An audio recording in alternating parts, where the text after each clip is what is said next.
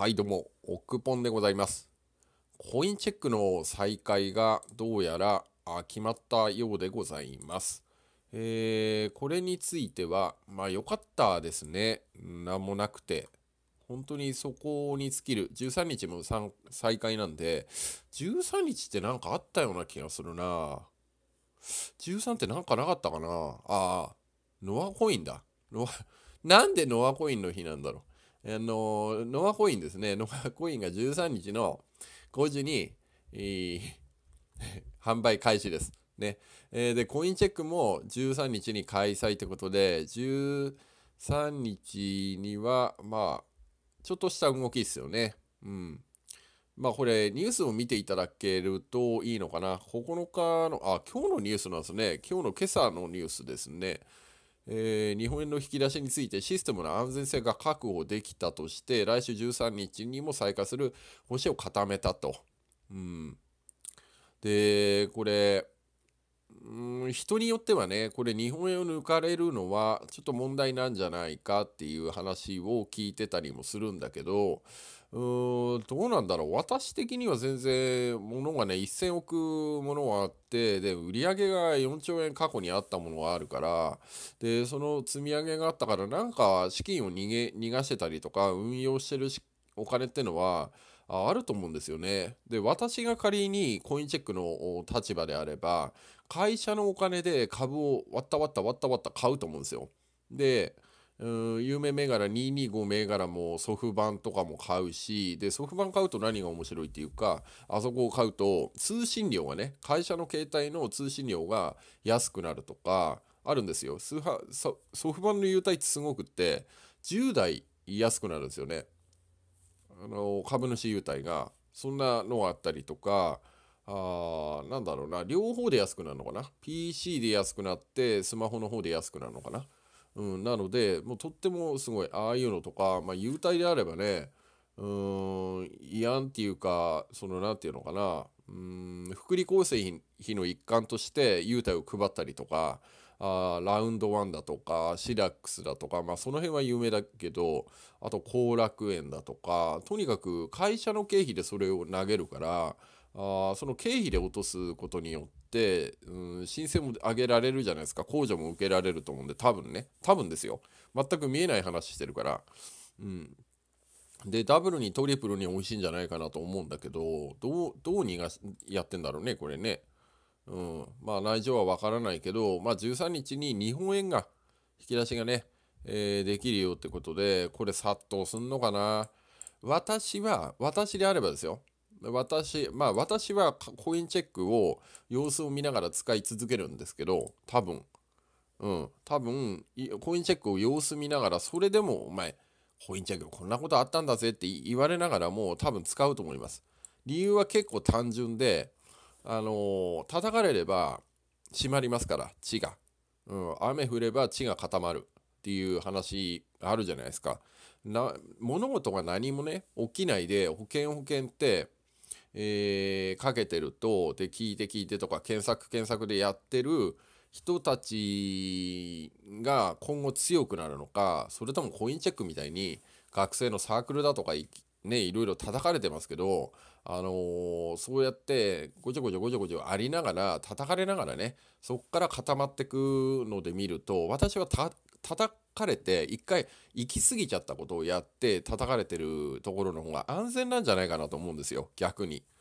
うん地雷を踏んでるんで、うん、だからまあそういう意味では、まあ、コインチェックの今後の展開ってのはあ期待はしてます。当然過度にね期待はしないですよ。資金が大きな資金をコインチェックから移すのかって言ったらビットフライヤーから移しますけどあの、それでもコインチェックっていうその存在っていうものはあるっていうものに対しては私はあ批判的では全然ないのでうまあ、これについてはいろいろ取りようがあるとは思うんですけどもそれはそれで、えー、まあ、個々の、ね、判断に委ねますと、まあ、当然なんですけど。はい。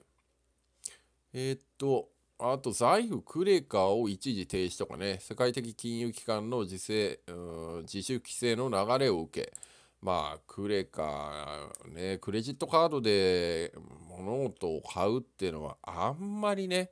アメリカのあれじゃないけどサブだとかねああいうのも結局借金借金で動いちゃってあれあれっていう感じじゃないですか。だからそういうところからないまあ仮想通貨暗号通貨っていうものも立ち位置的にはどうなのかなっていうんだけどやっぱり膨らまない理由はないと思うのよ。膨らまない理由本当に教えてほしいぐらい。うん。今80兆円ぐらいかな、うん、少し前の情報で暗号通貨の資金がもう80兆円だから。えっ、ー、と去年の9月はいくらでしょう？16.5兆円。多分もうちょっとあったのかな。20兆円くらいあったとしてもう4倍ですよ。うん、10、11、12、1、2でしょ ?5 ヶ月で4倍。どう？この市場。ね。うん、まあ、この市場を叩けるかっつったら叩けないじゃない。うん。おそらく無理じゃないかなと思うよ。うん。アマゾン、アリババとかね、あライア、ね、そういうのもあるでしょ ?ICO であったりとか、ICO 絡みで言うと、まあ、いろいろ出てるんだけど、あのまあ、相性ってよくわかんないんだよね。そどの辺まで喋っていいのか。いろいろ出てんですよ。直近でもちょっとね、あって、えー、で、それ、私どうしようかなと思って、やるんであればエイダを崩すしかなくて、で、今度エイダを崩すんであれば、上場したタイミングで、うん、利益になっちゃうから、わかります？最初エイダの価値を投げるじゃないですか。まあ50万円投げたとして、で、50万円投げたらどうなるのかっていうと、それが、まあ、価格は枝は枝でそれはそれでふわふわしてる状態のもので投げるでしょ。で次上場するでしょ。上場して初値がその枝の投げたコインとの儲けになるからそれはあその ICO でぶったコインと変えたわけだから利益になっちゃうのよ。うん、取り方がちょっとねそこ難しいんだけどね正直、うん、価格が結局でその、まあ、売買したタイミングで日本国のねう話だと売買した国税の話だとね売買した税務署か税務署の話だと売買したタイミングで利益が乗っかっちゃってるんであればそれは利益だよってことだから初値でしょうね。初値初値に対しての課税でしょで難しいよね。でそこまで結局その年にそのまま置いといてよ。で、まあ、10月とか11月に売ればそこで、うん、そこで利益になればいいのかな？難しいですよね ICO の場合。でもうん価値の移転だからアルトアルトでもビットコインでもビットコインからアルトに変えてまあ10万円が12万円になりましたっていうタイミングでその2万円利益が出てえ、がそれそれがもう利益なんじゃないかなと思ったけどでもよくよく考えてみると私が最初言った形っていうのはおかしいのかな？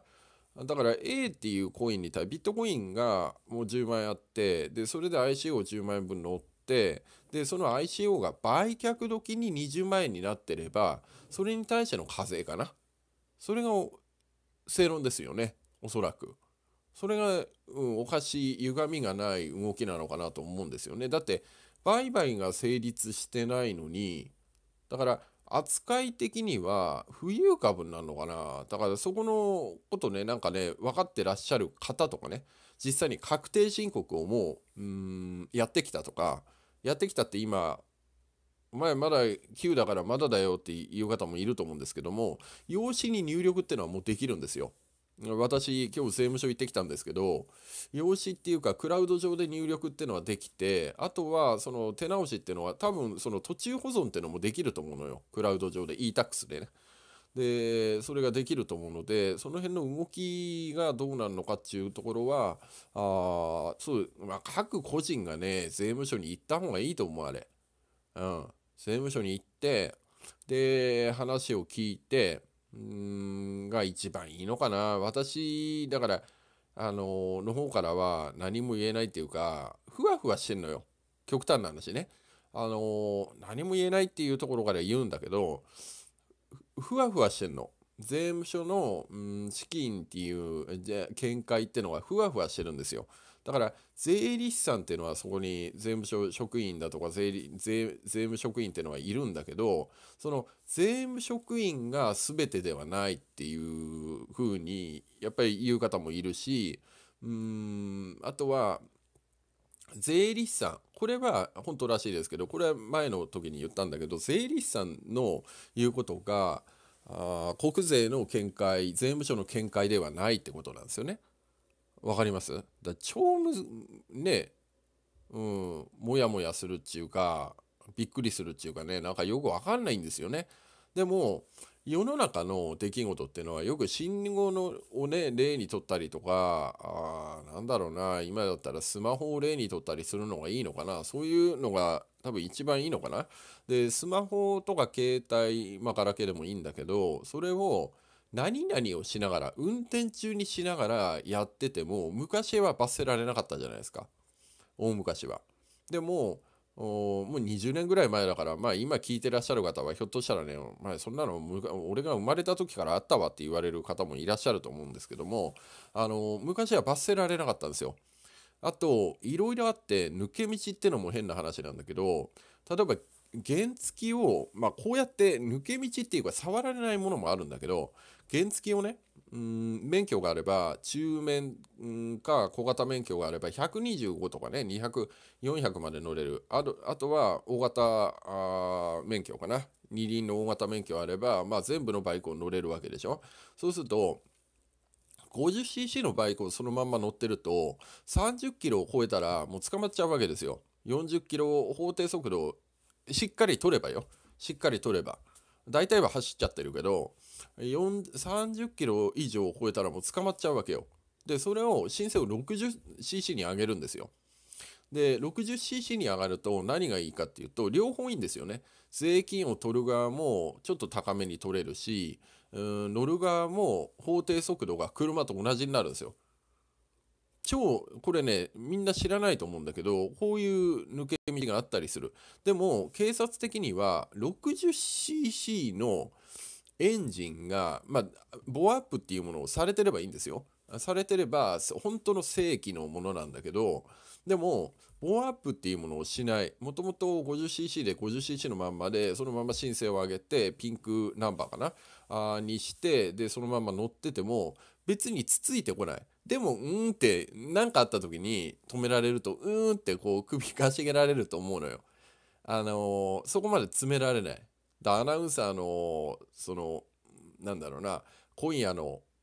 な降水確率は 10%20% 20%って言ってるようなもんでうーんって私なんか思うんだけどでもあれも別に詰めてないでしょっていう話でそれそれもね詰められない話ってあるのよやっぱり。でも国としては結局税金をいっぱい納税してるわけだからただ 50cc のまんまで納税をされるんであれば安い納税で済んじゃうわけですよ。でも乗る側もこれメリットがあるわけじゃないですか。30キロ以上で走っちゃいけないのを30キロ40キロで走れるわけですよ。法定速度なんで50キロ60キロでも走れるわけなんですよ。50cc のものでも 60cc で申請をナンバー取っちゃえばいいんですよ。60cc なんでって。まああの市役所とか市町村ん？市町村か。市町村なんでまあ簡単にそういうのはまだ取れんじゃないかなと思うんですよね。で大昔私もそういうのをまあ私の場合は免許おまあ私は 110cc の株とかねああいうの乗ったことがあったあったりとか 250cc の NSR とかあ400の VFR とかそういうのを乗ってたりとかしてたんでだそういうのが周りがこうやってるからそういう知識ってあるんですよね。うん、なのであの私もバイク乗ってたことがあったからね。うん、なのでそういう知識があったりとかねあるんだけどだからあのー、その残るものもあるんだけど今回の件については本当にできたことでしょ、うん、でまるまるっと何も分かんないとこからこれ立て直すところからだからその猶予を持たせないとそもそも何か払う側もうもちゃもちゃしててよく分かんないのよ最初でもその動きが出ることによって0101って普段言うけど本当01をすることによって刷り込みが行われるわけですよその方に。でそういうことをやってその法律でもやっぱりそうなんですよ。今本当に01なんですよね。だ今言った ICO の時に10万円のものを投げた時にそれが今初値でじゃあそれ判定すんの？とか売却で判定すんのって多分不明確だと思うんですよここは。ただ、アルトコインの移動に関してのビットコインからイーサリアム移動して、でもそこで儲けが出てる場合でしょ？だからそこで儲けてる場合っていうのは、だから一旦遅れるから、あ、大丈夫ですよ。何が大丈夫かっていうと、10万円のビットコインを買いました。で、10万円分じゃなくて、今度20、ビットコインの価格が20万円の JPY で20万円の価値を得ましたっていうところで、ここでアルトコインに動かすと10万円の利益じゃないですか。ってことは ICO も同じ。エイダを私であれば飛ばして、で、ICO が上場して、まあ、下がっちゃったら元も子もないんだけど、ICO でそれで上場して、で、ドーンって上がるとするんじゃないですか。で、それこそ10万円のものは30万円になったと。売却の時に。うん10万円のエイダを投げて売却の時に30万円になった場合にそりゃそりゃ20万円プラスだからさね？20万円プラスだからその20万円は納税義務が課されるからでそれは20万円納税しましょうってあ20万円って、うん、儲けたよっていうことを言いましょうって話だと思うから一旦ずれると思いますねわかりましたかね今ので。うん、だから価格がまずビットコインを売却した時10万円入れてビットコイン買ったことに対しては課税はないんだけどそこでビットコインが20万円分になりましたよって。でこれでアルトコインを買おうって言って20万円の価値のものをそこでボンって移動したならば10万円の利益だからじゃあ10万円を課税しましょう ICO も同じ。ICO も10万円のエイダを投げて ICO に乗っかって上場して ICO の初値とかなんてかっていうのはどこでもよくって。で ICO その10万円分の投げた ICO が上がった場合これに関してはほいじゃあうんね利益だから納税しましょうって話なのよ。今自分で話してて納得できたんだけど多分この構図だと思う。うん多分っていうかこれしか取りようがないかな数字の取り方は。だって ICO エイダー10万円投げてもビットコイン10万円分投げても結局どこで損益が出るのって言ったらあそこで利益確定っていう形のアルトコインに乗った時じゃないですか。JPY に変えた時じゃないですか。USDT に変えた時じゃないですか、うん、そこしか課税の対処の仕方がないと思うんだよね。取り方が。だからまあそこでしょう。あの国税の方とか税務署の方とか多分ね聞いてらっしゃる方もいると思うんですけどもそういうふうに取り方ですよ、うん、取り方はね。頭今ごっちゃりごっちゃりぐっちゃりだと思うんでその辺は本当にそんな感じでございます。であとそのうんやっぱねあれ言ってた。取引のいや公には言えないんだけどってだってぶっちゃけねこれで納税されないのがやっぱり大変な話だからちょっとちらっと言っちゃうけど一個一個の取引がやっぱり追えないでしょっていう話を私は言ったのそうやって。で一つの口座で200とか300とかあるのあるのよ。それも9月からね9月からそこの口座開いてて使い始めてそんだけあるのって話したのよ。本当に真剣に見いやいやこっちも大変だからさそれで課税されるだとか課税されないだとか言われたら大変じゃない？だから、まあ、真剣に言ったからもしかしてその真剣にでそうやって答えちゃったのかも分かんないんだけどでもまああのー、その1個の取引でね A から B 移動しました儲けました A から B 移動移動して、えー、その買いましたっていう話っていうのは積み上がっていくわけですよ。うん、だからあのー、それに関してね積み上がってきてるものを拾えないでしょって。私が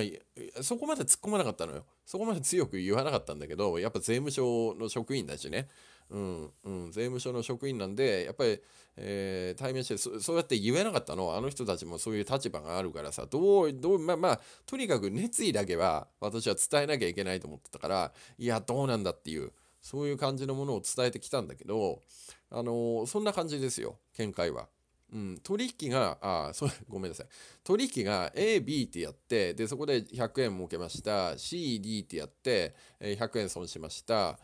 D、E ってやって200万儲けましたってなった場合に、200万の儲けでしょ？まず。200万の儲けこっち100円損して100円儲けたっていうところはあるんだけど200万の儲けがあるんであればその200万っていうものを出してよっていう話。だから A, A とか B とかってこっちの利益は利益で出てるんだけど合算して A から Z まで、まあ、いくつまであるか分かんないけどそれを合算してプラスそこの一個一個の計算して合算したものが総称でしょって、うん、そういう話はしてくれました。で合算したものが総称総量であればだそこが結局50万入れて100万円になるんであれば50万円の利益だからほんじゃあオクポンさんそれ50万円の利益っすよねっていう話で今回は出してってじゃないと多分決着がつかないでしょうっていう話はあやっぱり向こうも頭を痛めてた、うん、頭を悩ませてたんじゃなくて本当は取りたいんだろうってだってそれが仕事だからででも気が回らないしやりきらないだろうっていうところの見解には落ち着きますよ。あのー、本当だと思いますよ。本当1000とかあ2000とか去年であればやってた人はやってたんじゃないですか、うん、取引をね。だって、うんとまああれは中国人が絡んでるから何とも言えないんだけどコインチェックだとかビットクライヤーだって月に4兆円とか10兆円だからね。利益が取引手数料がね。手数料売上がですよ。手数料だから。で売上がそれだけ上がっててそれでうーん売ってないって言われてもうんって。じゃああの人たち何に対してそんな売り上げ出てるって言うんだってそこしか儲けるとこないよなっていう感じじゃないですか。っていう話なんですよ。その取引をいっぱいいっぱいコインチェックなんかでやってたらあまあいろいろ聞くんだけど悪いね言い方する方もいるんですけどまあまあそういうことじゃないですか。で儲けなんかバカバカバカバカ出たわけですよ。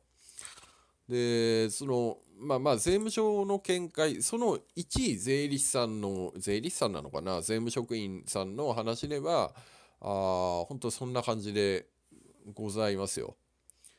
うん、デリヘリデリヘルの店長と飲んでるけどビットコインでデリヘル決済できるところがあるらしいですよ。うん。だって言ってます。はい。えー、でござんすよ。うん。あの、ほんとね、これがやっぱり、いなんなんでもね、その、お何でもその地が固まってくっていうのがやっぱり出てくるのでそのタイムラグっていうのは絶対出てきますよ。うん、そうそうだからあの私が今言ってることに対して確かにおかしいんじゃねえのっていう確かに一個一個の取引でそこの利益が出たものに対して利益が出た出ないに対して初めてそこの1個の取引が終わって2個目の取引が終わって3個目の取引が終わってっていうことを一個一個の利益で見ていくっていうのがあ今の本当の見解なんですよ。でも今の立ち位置でねもうでかさっちゃ,、ね、ちゃってね後付けで結局ついたわけじゃないですか。12月までビットコインだけだったのがあそれもビットコインだけって言っても4月くらいの見解なのかな。で結局4月ぐらいの見解だったのがあ今度12月にあるとこにじゃあ全部載せてよっていう話になったでしょ。でその時にツールがまず出来上がってないでしょ？でビットフライヤーはあそれに関してツールができてたりするんだけどでビットフライヤーだけだったらいいけどんじゃあ海外の取引どうなのって話でしょ？うん。やりようないじゃないですか。うん。っていう話ですよ。海外の取引もいっぱいありますよ。ポロがあってバイナンスがあってビットレックスがあってえー、まだあるでしょ、うん、まだアップコインもあってとにかくいっぱいあるわけですよ。でそれに関して一個一個ツールあんのって言ったらないんだと思うんでね。でツールがもらえるのがあったんだけどそれも結局12月の15かな？に手締まっちゃってるしで3回目のやつがまだあ発送っていうか実装してないんでね。うん、だからやっぱこんなもんなんですよ世の中って。でなんでほんとそうなんだけどその地が固まるっていうことをどんどんどんどんしていくんでやっぱり先行者っていうのはこういう利益があるわけですよ。だってこれで利出しがこのタイミングでやれば利出し去年でね利益が出てた方はねうんこれで利出しをしてした後の見解だからこれだって突っ込まれてもどうもない準備もしてないしでその去年利益出た方からするとなんだよって後付けだからって話になっちゃうしで払いたい人っていっぱいいると思うのよ。みんな払いたい。うん、まあ払いたくないっていうのもまあ本音なんだけどでも払いたくないっていうのは本音なんだけど税務署ってお金よねってめんどくさいよねっていうのが私はめんどくさいよねってあるんだけどでめんどくさいからほんじゃあ払うよって日本国内にいるんであれば払った方がいいんでしょってじゃないと肩身狭くなっちゃうんでしょって縛られちゃうんでしょってもしかしたら追徴課税来ちゃうんでしょって話だからほんじゃ払うよっていう見解なわけですよ。ね。えー、なのでまあ本当にこんな感じなんですよ。ものって固まっていくのに。で、こうやってギュッギュッて縛られていきます。ね。えー、スマホはダメだよって、飲酒運転も昔はそんな厳しくなかった。20年、25年ぐらい前だとそんな厳しくなかったんだけど、なんでこんなに今厳しいのかがよくわかんないんですよね。で、仮に、あのー、これは利権絡みがあると思うんだけど、飲酒運転はあれだけ縛るんであれば、ほんじゃあ、もう車にその装置つけりゃいいじゃんっていう方誰か言ってましたけど本当そうですよだってそうでしょ？もう飲酒してもう酒気帯びで二日酔いで車乗ろうとするものならばほんじゃあもうダメだよねって、うん、車乗れないよねって言ってもうエンジンすらかかんないとかね。そういうセンサーをつければいいじゃないですか。で法律でそこに対して義務付けりゃいいじゃないですか。なんでまだやんないのって思わないですか？未だに。だって飲酒運転がダメだって言って酒気帯びのそのセンサーってのがあるわけじゃない。なんか警察な警察24時とかああいうのまあテレビは見ないんだけど YouTube でちょっとね流れるのはやっぱり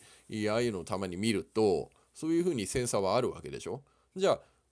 ね車に対してもそれを法律で義務付けてつけりゃいいわけじゃないですか。うん、でそういうことなんですよ。でそういうことをなんでやるとこでやんねえのかなと思うのよ。あれこそ縛るべきだと思うんだよね。飲酒運転ダメだよって確かに飲酒をするとふわふわしますよね。うん、ふわふわしてうん紅葉まあまあ人によって飲みすぎちゃうとやっぱ具合悪くなっちゃうけどあ程度飲むとわーってうおーってやりながらこう楽しめるしいその何て言うの？壁がなくなるじゃないですか。うん、ワイワイワイワイやってると。だからあれはあれでお酒はお酒で私はあっていいもんだと思うんだけど、うん、こと飲酒運転については縛りようがあるんじゃないかなってまだ。だからあれは私は利権が何かの利権が絡んでんじゃないかなと思う。もしかしたら本当にそれこそ警察の利権とかねで天下り先の警察からの天下り先がこういうのがあってそういう利権が絡んでてああなっちゃってるのかなっていうのは私の少なくとも私の見解なんだけどまあでも大型そうなんじゃないかなと思う。うん、利権絡みでうんあれをつけられないんじゃないかなと思うんですよ。うん、要は天下り先がないと今まで天下ってた人たちが行けなくなるでしょ。天下り先って何なのって言ったら税金でその人たちを食わせる場所でしょ、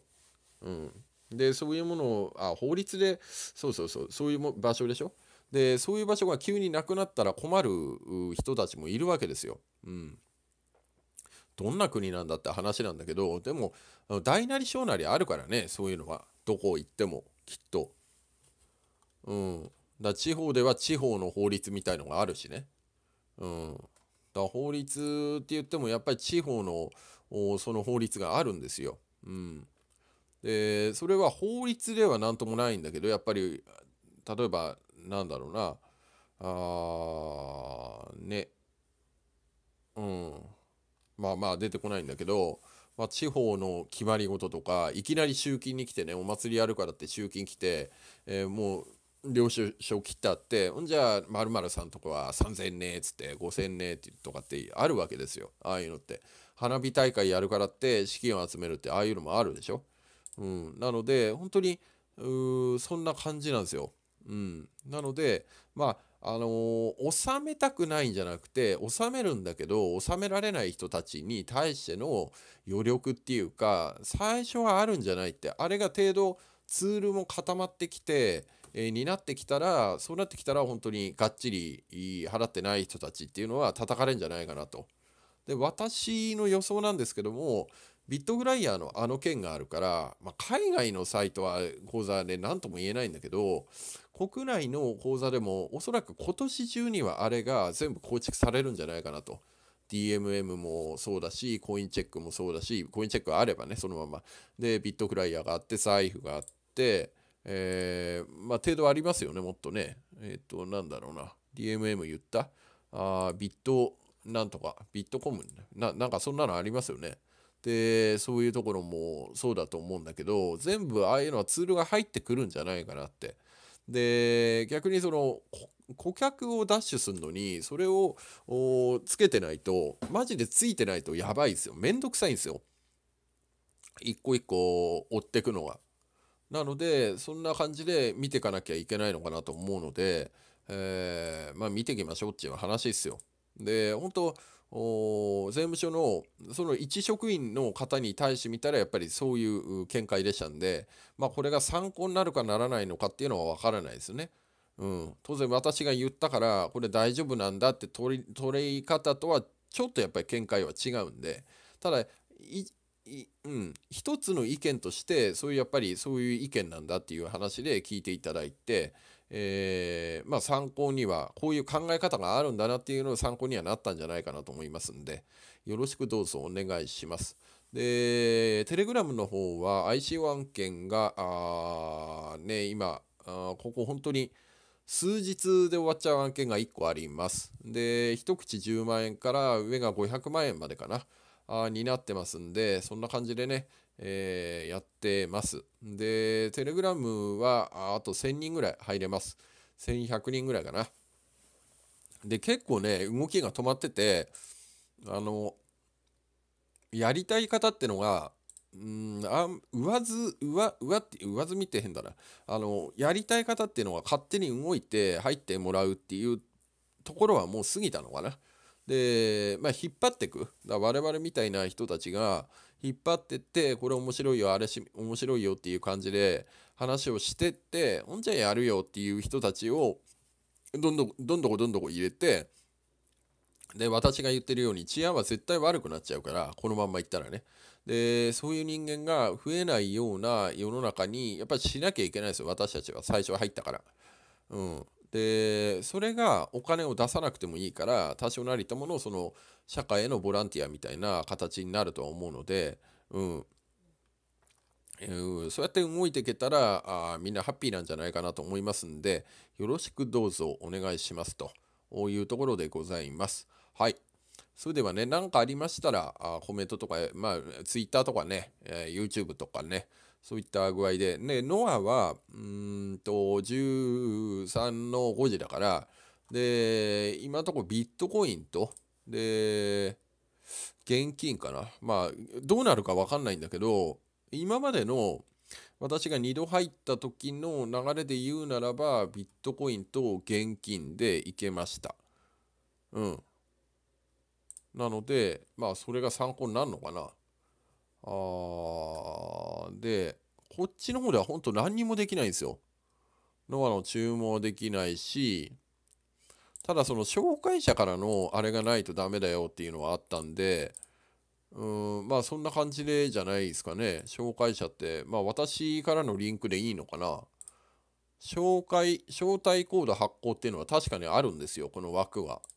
で、これを無限使用可能っていうのと1回のみ使用ってなんで2つあるのかよくわかんないんだけど、で、それを招待コードっていうのを発行するとビロって出てくるんですよ。で、ビロッと出てくるのをこれは貼ればいいのかなっていう感じで、で、これが今んとこね、このリンクは生きてるんだけども、そっちの部屋に行って、ほんじゃんノア買いたいよって言った時に買えないのよ。あのー、まだ今停止してるっていう風な感じになっちゃってて、買えないからこれをどうすんのって話なんだよね。うん、どうもならないと思うのよ。そうそうそう。だから、あーね、そんな感じで、うんやっていきましょうはいでそうそうそういろいろね、えー、ありますんで、えー、まあ動いていきましょう。で、その都度に本当今みたいにね、税務署の見解とか、ああいうのは今後見れたら、もう一回ぐらい申告する前に行くのかな？多分行くかな？また数日後に。で、行って、数字をまた追ってみて、で、e-tax のやり方とかも、ちょっとまあ、触ればわかると思うんですけども、まあ、保険のために行ってみて、で、話をちょいと聞いてこようかなっていう、またね、えー、したいと思いますんで、まあ、今後の見解っていうのは本当にこう目が離せないしここの逆に言ってみたらこの確定申告の面倒くささっていうのがなくなればもっともっとバンバン入ってくると思うので、うん、だって面倒くさいって聞いてるわけよ。で税務署があそこから来るなんて言ったら超面倒くさいじゃないですか。で程度半沢直樹なんか見てたら税務署って怖えとこだよなってまあ大げさには表現してるだろうけどでも警察24時みたいのを見てると大げさでもなさそうよね。うん、あんたとこみたいなね。ああいう冷静な感じで何人かがごちゃごちゃごちゃって出てきて、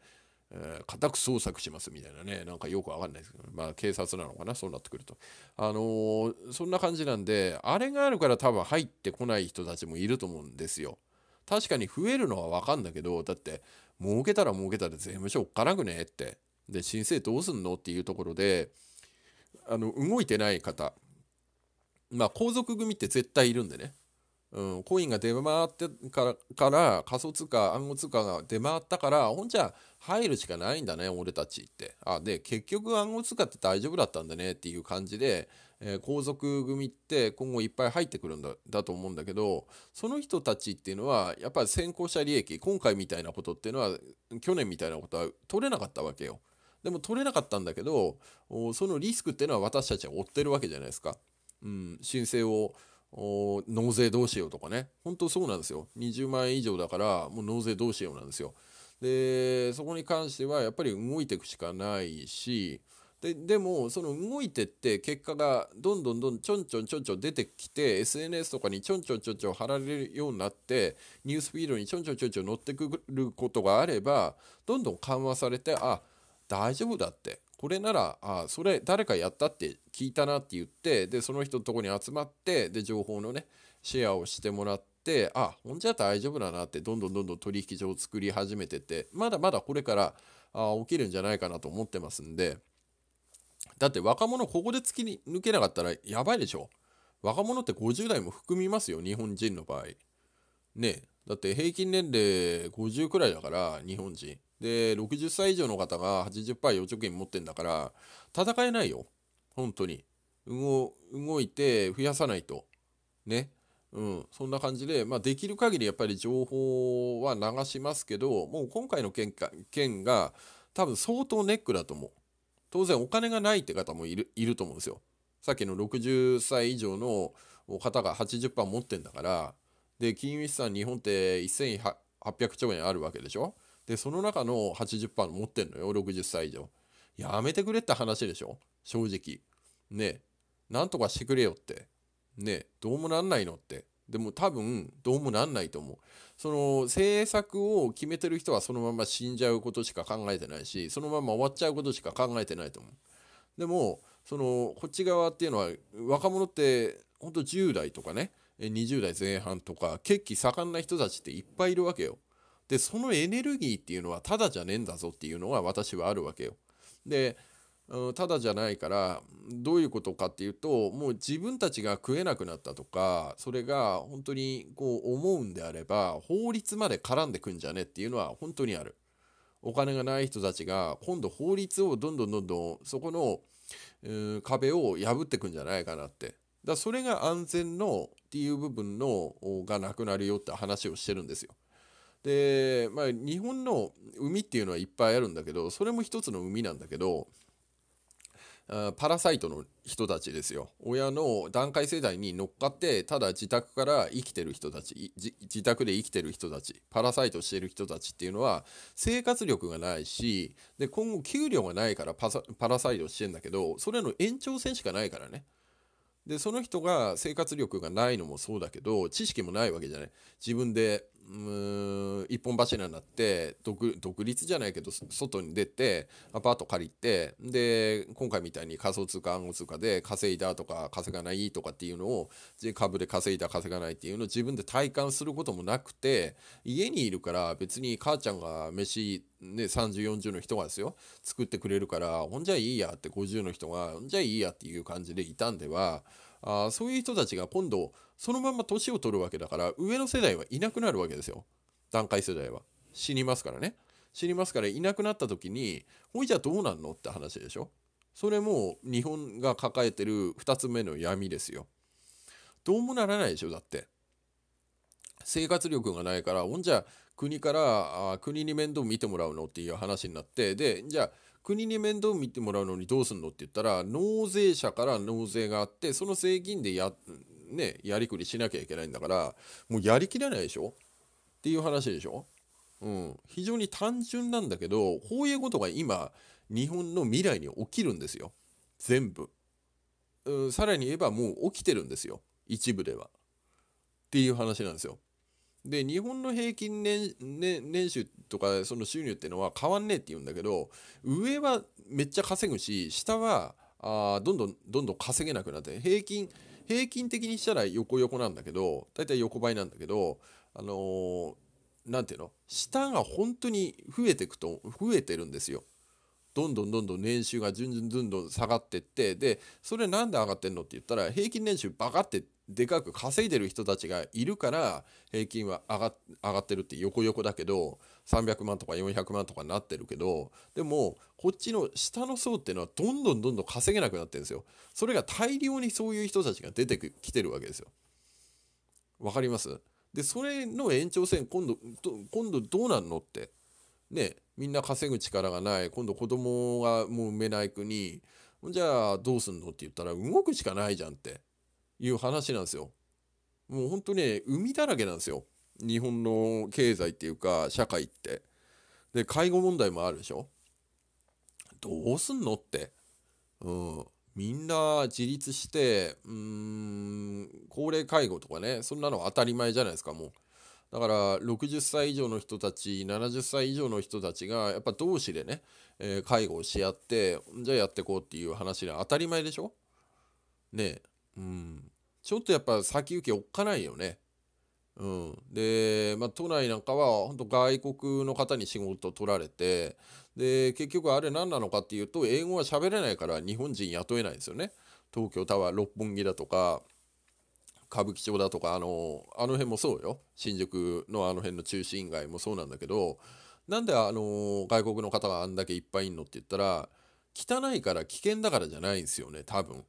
言葉がもう一回入ってて最初はそうやって逃げたんだけど日本人が。でも今じゃあ言葉が多分喋れなくて雇用側が雇いたくないんだと思う日本人って。言葉喋れないし通じないし英語喋れないでしょって。ほんじゃあどうすんのって言ったら喋って出てる人間を雇ってた方がいいでしょそのまんま。ね。ねトルコの話もしましたよね。トルコの話だとうんとケバブか。ケバブ売ってるんだけど結局トルコ人を雇うと高いからね。賃金高いからネパール人を外から多分持ってきてね。でもう3年もいるのに日本語が読めないとかってなってるのよ。でそういう人たちが結局入ってきて店をやって日本円の効果でねお札でやり取りをしてるわけでしょ。大変だよ。で動線も彼らは分かってないんだけどでもうんでああいう感じなのよ。多分日本人って。トルコ人がネパール人を引っ張ってきてよその国に引っ張ってきたんだけど彼はもう動きが頼るものがない頼る人っていると思うんだけどそこまで多分経済力は与えないんだよね逆に。与えることによって外に出ちゃうからそのまま使い使い倒して使い倒そうっていう感じだと思うのよ。トルコ人からしてみたら。雇ってね。でそういう感覚のそのななていうのかな国の構成っていうかすごくこう出てきてるような私はこう日々ね俯瞰し俯瞰しながら見てるからだ今日なんかもやっぱ周りこうやって、うん、税務署行ってね、うん、耳をか耳をね担保にして聞いてみたら仮想通貨とか暗号通貨とか話してる人いなかったのよ。で大体何やってんの？あれ何やってんのって不動産賃貸。まあそういうのは多いよ。多いわよ。多いけどうん仮想通貨の彼女も暗号通貨のあの字も聞こえなかったからネムだとかあ普通にリップルだとかイーサリアムだとかそういう話題が出ていいんじゃないかなと思うんだけどそういう話が出なかったりとか。だからふまあそれはどうでもいいんだけどあの俯瞰視していくと本当見えてくるんですよねこうやって。で俯瞰視するんだけどそのコアな部分っていうのは実際自分で目で見て判断していかなきゃいけないからあのー、本当歩った方がいいですよ。うん、中でわちゃわちゃやってないで人の SNS なんて見てなくていいんですよ正直。であのその時間も外行ってちょっとでもいいから外の空気を吸いながらみんな何やってんのっていうのを見た方がいいですよ。うん。問題ないですから少なくとも今ね置いてる動いてる動いてない人たちと比べたらもう動いてる人たちの方が1000万倍や。うん幸せだと思う。うん、未来見えるし。ねうん、だから動いてない人たち未来見えないよ。へりくつばっかり言っててで自分たちっていうのはどこに向かうのっていうのはあ全然見えないですからね。本当に。だどうなるのかっていうのはマジで分かんないんだけど分かんないんだけど分かんないからこそ動かなきゃいけない。世の中分かんないわけでしょ？だ私なんか程度もうやばいっていうのは見えてるからあのー、もう動かないっていうのは考えられないですよ。それは自分の頭の好奇心もそうだしうんそのお金のね資金だとかあ財力に関しても程度どんどんどんどん沈んでくの分かってるしほんじゃあどうすんのって話でしょ？自分で101で動いていくしかないじゃんって。だそれはどこ行っても同じですよどこ行っても同じ自らがどう感じてそれに対して行動するのかってでそれは協調性じゃないですからね私が言ってるのは協調性じゃなくて自分がこうだからそうするっていうのを全て自己の判断でもってやっていくわけなんですよ。そこが大事なんですよ。そこが大事。何よりもそこが大事。暗号通貨入らない入るより何よりも何よりもですよ。そこが大事なんですよ。で、その中でやべえよねっていう話を私がいつもしてるんですよ。私が感じてって、あ、やべえよこれって。うん。だから本当にここ私たちができることっていうのは暗号通貨市場に人をもっと入れることですからやばい日本にこのままだとなっちゃうでもなんとか抑えられんじゃねえかなっていうのは本当の話うん私はそう思ってるしそれは感じてる。うん正直感じてるんで、えー、そこはですねまあ私を信じるのかあそれとも預貯金信者を信じるのかどうですかね。私は相当危険だと思う。その預貯金をして、えー、通帳の残高見て喜んでる北総んでるような感じで今ね動いてるんであれば相当やばいと思う。まだアプリゲームに課金してた方がいいぐらいかな。日本円結局持ってても意味がないから。力もどんどんどんどん弱くなるし。でその弱くなる資金なんて持ってたってしゃあないじゃん。って話。で今であればって今であればっていつも言うんだけど本当にそこなんですよ。今であればなんとかなるんじゃねっていうのはまだありますよ正直。まだある。まだなんとかなんじゃねって思ってる。本気でそれは思ってますねあのー、コインチェック騒動あんだけあったんだけどまだなんとかなんじゃねえかなっていうのは本気で思ってますでなかったら借金踏まない借金っていう地雷を自ら踏みませんよ。うん。思わないでそのリスクを取るっていうことはしないですからね。まだ膨らむんじゃねっていうのがあるからリスクを踏むわけで、だからここでもって借金を踏むよって。で、借金を踏んだ内訳っていうのは、これに対してしっかりね、利益が出たものに対して自分を満たしてやりたいし、うん、周りの方もね、やっぱり満たしてあげたい。ね、大げさじゃなくて、本当にそんな感じでございます。で、それによって物事って変わると思うし、あのー、体感したら絶対変わるんですよ。うん。ホリエモン万博でも何でもいいんだけど、何でもああいうとこに参加して、どうだとかこうだとかっていうのを見ることによって、まだまだやれることあるじゃん、俺らって。本気で思ったの、ホリエモン万博。あのまあ、メインなメインでそう思ったのはあ夜中のね夜中って夜のイベントだったんだけどあれを見た時にいや俺たち人間まだまだやれっことあるぞって感性感性って普段言ってるけどまだ刺激されてない場所ってあるぞって思ったの大体しょあの触れる部分触れる部分ってこう肌をね触れたりとか頭をこう触れたりとか顔をね触れたりとかそういうのをする部分なんだけどその部分を触ってきたんだよね。今回。あのイベントでね。たまげたあれ。うん。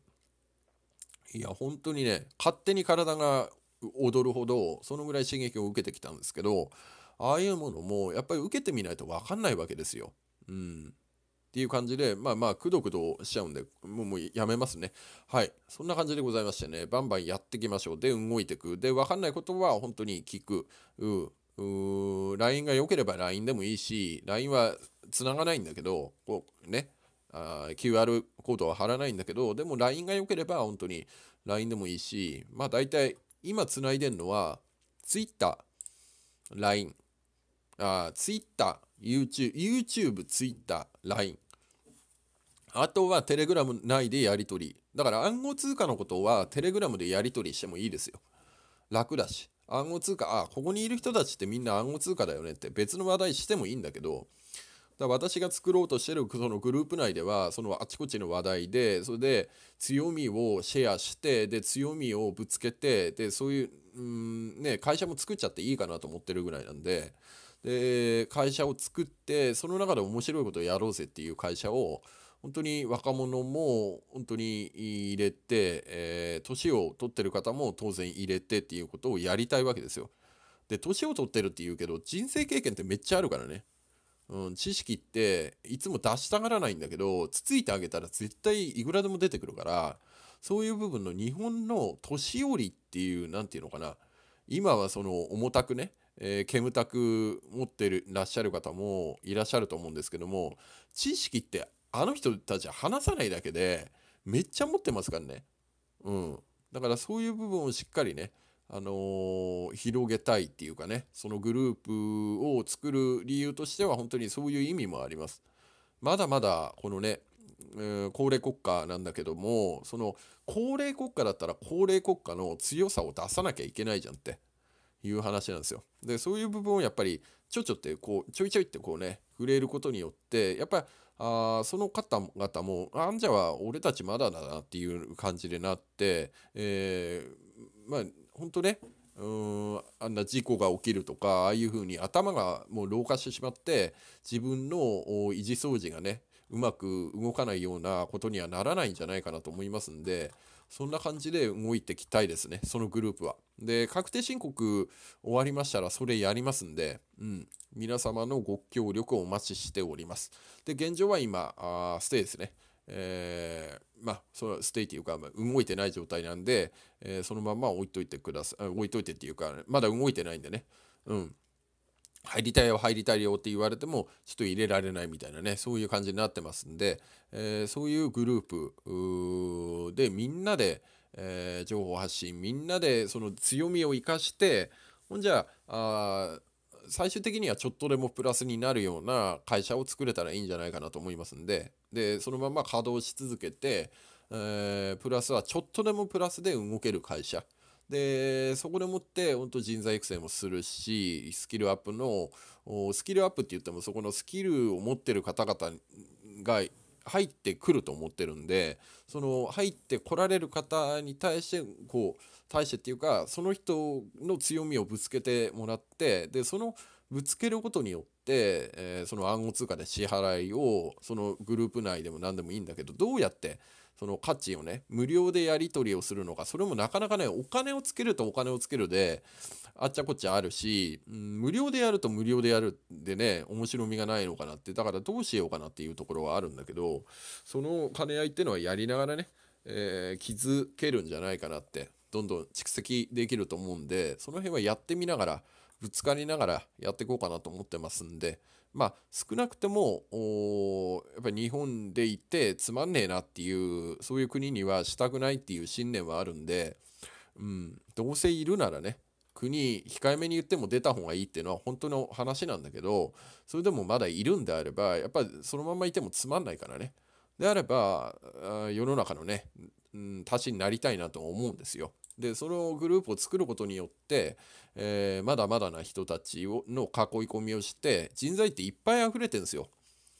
何でも働ける方たちがいっぱいいるんですよ。何でもやれる方がいっぱいいるんですよ。でその方々をやっぱ引き引き上げたいって言ったらなんかね上からなんだけどやっぱり中にいることによって楽しめる。ような空間ネット最初はネットなんだけどもそれオフ会みたいな感じあるいは海外でなんかイベントをやるっていうのもそうだし海外のショップを紹介するのもそうだしでそこの海外のショップを紹介するだけじゃなくてその商品を紹介して本当に地球全体でうん売れるようなねそういうイメージを持ってるんですよ。でそれが今であれば別に可能なんじゃないのって思うの見ててね。だってアマゾンにしてもアリババにしてもあれだけ普及したわけでしょ？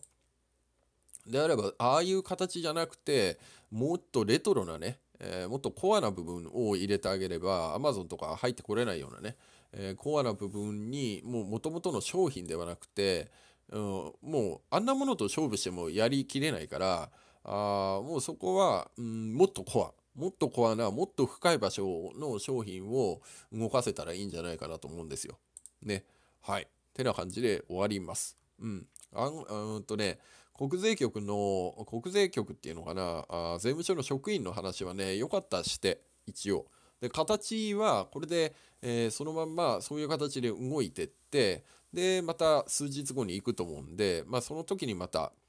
管轄内のとこに今度行こうかなと思って、うん。その見解をちょっと聞いてきましょうというところでございます。はい。だから確定申告引き続きね、動いてきます。それでは素敵なコインライフをお送りください。